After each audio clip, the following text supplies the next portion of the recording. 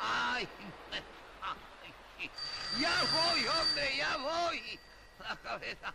Ay, ay. ¡Diga! Sí, pero no podían tocar el timbre un poco más flojito. Porque es que tengo la cabeza que, vamos, parece que todo me suena dentro. ¿Eh? ¿Eh? Ah, la policía.